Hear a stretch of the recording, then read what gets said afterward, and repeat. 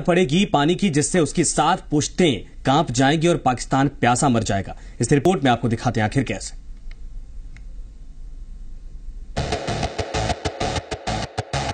तीन घंटे पानी मिल रहा है।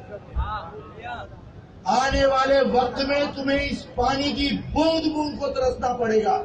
इसलिए कि तुम्हारे पानियों के ऊपर भारत डैम बना रहा है और डैम बनते चले जा रहे हैं, बनते चले जा रहे हैं। वो इस काबिल है वो ये कुदरत हासिल कर रहा है कि अगर वो चाहे तो तुम्हारे पाकिस्तान में सैलाब के वो तूफ़ान बर्पा करे कि तुम उसे निपट नहीं पाओगे। और वो चाहे तो पानी को रोककर तुम्हें प्यासा मार दे। इन डैमों के बाद थे उनके भाग्य। और चलिए शुरू करते हैं आज का विशेष इन्हीं खबरों के साथ।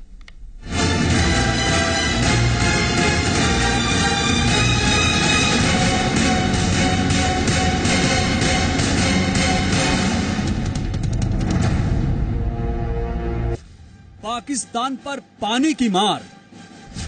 पाक में मचेगा पानी का हाहाकार। बूंद बूंद को तरसेगा पाकिस्तान। प्यास से तड़पेगा पाकिस्तान। बिन पानी निकलेगी पाकिस्तान की जान। पाकिस्तान बन जाएगा कब्रिस्तान। हिंदुस्तान की तैयारी हो चुकी है पूरी। टेररिस्तान के खिलाफ सख्त किलेबंदी ज़रूरी। अब चुन चुन कर होगा पूरा हिसाब। प्यासा मरेगा पाकिस्तान। पास कोई हल नहीं है। अलावा इसके कि नए डैम बनाओ। मैं आज तुम्हारे सामने ये बात दुख के साथ रखना चाहता हूँ।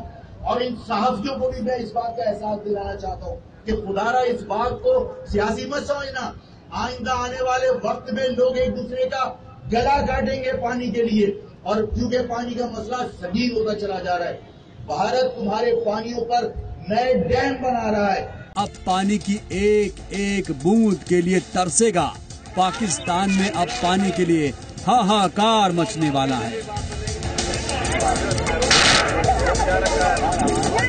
बोली की जगह गोली से बात करने वाले पाकिस्तान पर अब पानी की मार पड़ने वाली है। पाकिस्तान की गर्दन पर अब बाँध का फंदा कसने वाला है, जिससे पाकिस्तान प्यासा मरेगा, क्योंकि भारत सरकार ने कश्मीर के उज्ज से जाने वाले पानी को रोकने की योजना तैयार कर ली।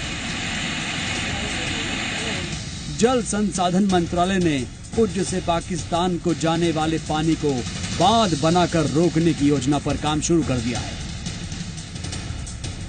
आम दिनों में रोज़ाना तीन क्यूसेक, जबकि मानसून में रोज़ाना एक लाख क्यूसेक पानी पाकिस्तान चला जाता है। ऐसे में अब इस पानी को रोकने के लिए सरकार ने कमर कस ली है। बना रहा है। आज जो लोग ये कहते हैं कि कालाबाग डैम नहीं बनेगा, हमारी लाशों पर बनेगा वो सियासत कर रहे हैं। मैं ये कहना चाहता हूँ कि भारत उसी पानी पर जिसपे कालाबाग डैम तुम अपने पाकिस्तान की हदूद में बना रहे हो वो अपनी हदूद में डैम बनाकर तुम्हारा पानी रोक रहा है। लेकिन जो लोग कालाबाग डैम पर एहतजाज करते हैं कभी उन्होंने भारत के बनाए हुए डैम पर एहतजाज किया? नहीं। कभी नहीं करेंगे। इसलिए कि भारत से उन्हें पैसा मिलता है।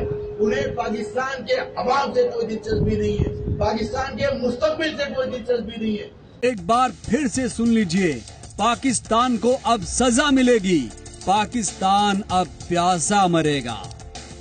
ज़मीन की बारूद की खेती करने वाला पाकिस्तान अब पानी की एक एक बूंद के लिए तरसेगा। पाकिस्तान में अब पानी के लिए हाहाकार मचने वाला है। बोली की जगह गोली से बात करने वाले पाकिस्तान पर अब पानी की मार पड़ने वाली है। पाकिस्तान की गर्दन पर अब बाँध का फंदा कसने वाला है, जिससे पाकिस्तान प्यासा मरेगा, क्योंकि भारत सरकार ने कश्मीर के उज्ज से जाने वाले पानी को रोकने की योजना तैयार कर ली। तो खुदारा कालाबाग डैम बनने दो। अगर ये मुल्की सलामती का मामला है। ये सूबाई मामला नहीं है और पूरे पाकिस्तान की बका खतरे में और पाकिस्तान को पानी से मारने के लिए भारत डैम बना रहा है। अगर इस डैम का, इस साजिश का मुकाबला करना है और तालाबाग डैम बनाकर इन बारिशों के पानी को महफूज करके पाकिस्तान के लोगों को पीने का पानी फराम करना है और पाकिस्तान के 22 करोड़ अवाम का मुस्तबिल इससे वाबस्ता है। तो खुदारा पाकिस्तान में रेफरेंडम करवा दो। इलेक्शन से ज़्यादा ज़रूरी कालाबाग डैम पर रेफरेंडम है। हम ये चाहते हैं कि कालाबाग डैम पर अवाम फैसला करे। चंद लोगों के एहतजाज की वजह से 22 करोड़ अवाम के मुस्तबिल को खतरे में नहीं डालना चाहिए। नहीं योजना तैयार करनी। जल संसाधन मंत्रालय ने पूज्य से पाकिस्तान को जाने वाले पानी को बाँध बनाकर रोकने की योजना पर काम शुरू कर दिया है। आम दिनों में रोज़ाना तीन क्यूसेक, जबकि मानसून में रोज़ाना एक लाख क्यूसेक पानी पाकिस्तान चला जाता है। ऐसे में अब इस पानी को रोकने के लिए सरकार ने कमर कस ली है। ये नितिन गडकरी जी ने मुझे निर्देश दिया कि आप जाके मीटिंग करें एक बार जम्मू कश्मीर की सरकार से। मैंने बात भी की उनसे। उज में एक डैम बनेगा। डैम की एनओसी जम्मू कश्मीर सरकार को चाहिए, से चाहिए। वो थोड़ी प्रॉब्लम आ रही थी। तो हमने कहा, अभी जम्मू कश्मीर में भी पीने के पानी की प्रॉब्लम है। पानी पाकिस्तान जा रहा है।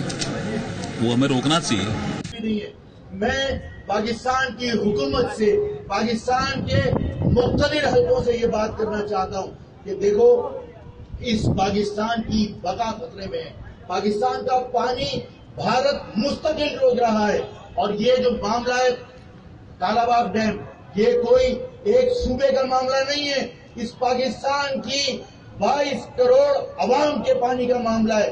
और अगर ये कोई सूबाई मामला होता तब भी मैं कहता कि सूबाई मामला अगर समझते हो तो सूबे में रेफरेंडम करवा लो।